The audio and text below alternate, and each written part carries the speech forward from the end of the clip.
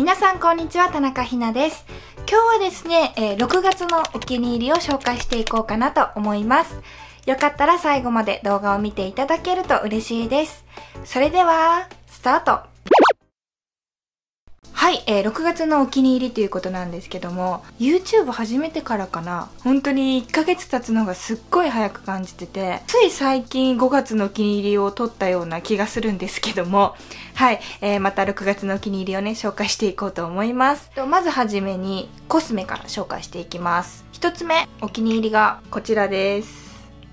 これはですね動画でご紹介させていただいたんですけども3のベルベットラストリップスティックの15番の色味です。こういったちょっとこう朱色っぽい感じの赤リップです。でこのリップね今こんな感じでつけてみてるんですけども本当にめちゃくちゃお気に入りすぎて毎日使っています。なんかやっぱこの暑い時期とかにすごい合う色だなっていうのとあと特にこう長持ちするっていう感じのリップではなかったんですけども思ったよりそんなに色落ちが気にならないなっていう印象があったのでよく最近はこの3のベルベットラストリップスティックを使っています。乾燥しないですかっていうような質問を結構いただいてたんですよね。であのやっぱりこれを直でつけてしまうと乾燥する感じがするのでこのリップをつける前に、えー薬用のリップスティックとかを塗って一度ティッシュオフしてからこのリップを塗るようにしています。そうするとねあんまりそういう乾燥とかが気にならないので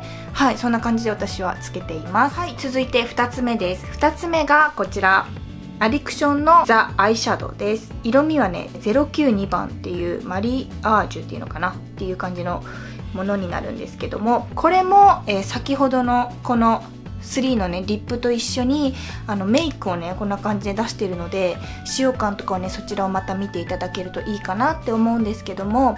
このアイシャドウも本当にめちゃくちゃ良くて毎日使ってます。あんまりこうラメ感のあるアイシャドウとかそんなにこう使う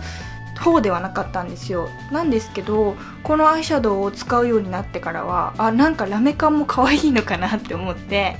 本当に毎日使ってますね。あんまりこうがっつりつけるっていうよりかはこう黒目上あたりとかにこうつけてまばたきをする時にキラキラして見えるような感じにして使っています。なんかこうさりげなくキラキラとしてなんかこう夏感が漂わせてるのかな何言ってるのかわかんないんですけど なんかそんな感じがするのではい。このアイシャドウもよく使っています。こういったデパコスを6月に購入したんですけどめちゃくちゃよくってめっちゃ使ってます。はい。では続いてファッション系になります。ファッション系1つ目がこちらです。サングラスでございます。とまずこちらのグレーのフレームのサングラスなんですけどもこれはアングリッドで購入しました買ったのは5月のゴールデンウィークとかだったんですけどどんどんこう暑くなってきて運転してる時にめっちゃ日差しが眩しいんですよ。だからよく使ってるんですけどもこのグレーのフレームが本当に何と言っても珍しくてめちゃくちゃ可愛いなと思って購入したんですけど本当にこれもよく使ってます。ファッションのアクセントになるのでねすごく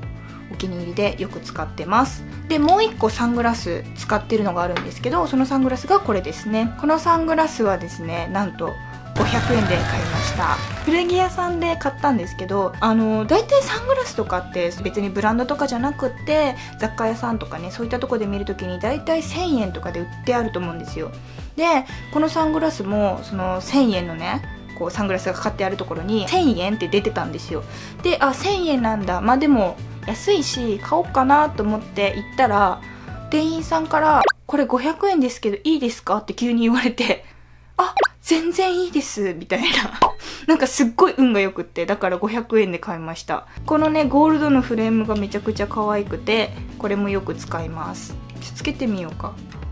こんな感じ。ちょっとこうカジュアルな格好をする時にはこのサングラスをよく使いますね。逆にシックな格好をする時にはこのアングリッドのサングラスを使います。そんな感じで本当に夏は暑くて特に運転してる時とか日差しが強くて眩しすぎるのでこのサングラスをよく普段使ってます。では続いてファッション系のお気に入り2つ目です。2つ目がこちらですこのピアスですね。これも動画でご紹介させていただいたんですけどもちょっと長めのここに石っぽいストーンっぽい感じのものがぶら下がってるピアスになります。これもね本当に何にでも合わせやすくて悩んだ時はとりあえずこれをつけてました。でこんな感じで髪を下ろしてつけることもあるんですけども髪の毛をね結んだ時にこんな感じで結構アクセントになるのですごくそれが気に入ってるので最近よくこのピアスは使っています。で本当に会う人会う人に「えこのピアスかわいいね」ってすごい褒められるんですよ。個人的にもすごいお気に入りなんですけどもそうやって言っていただけるので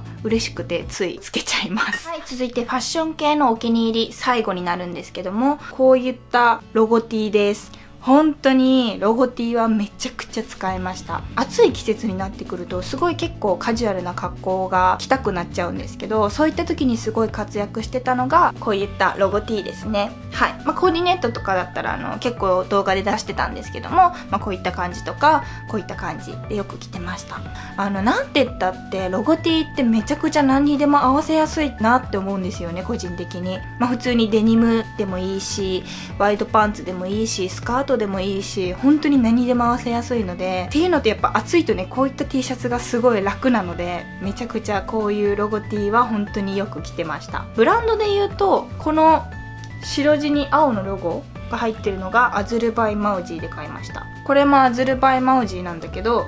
こういった白地に赤のロゴですね。これは結構ビッグサイズの T シャツになります。アニエスベイの T シャツ。これも本当によく着ますね。でもう一個あるんだけどちょっと今妹がね学校に来ていってるので手元にないんですけど写真で言うとこんな感じのはい。白地に黒のロゴの T シャツです。これはローリーズファームで買いました。着た感じとかそういったものは結構私コーディネートの動画を上げさせていただいてるんですけどもあのそちらで結構 T シャツ着てるので、えー、見ていただけたらいいかなって思います。はい以上が、えー、私の6月のお気に入りでした。はい、まあ、パッと紹介した感じにはなってしまったんですけども、最後まで動画を見ていただきありがとうございました。えー、よかったら高評価ボタン、そしてチャンネル登録していただけると嬉しいです。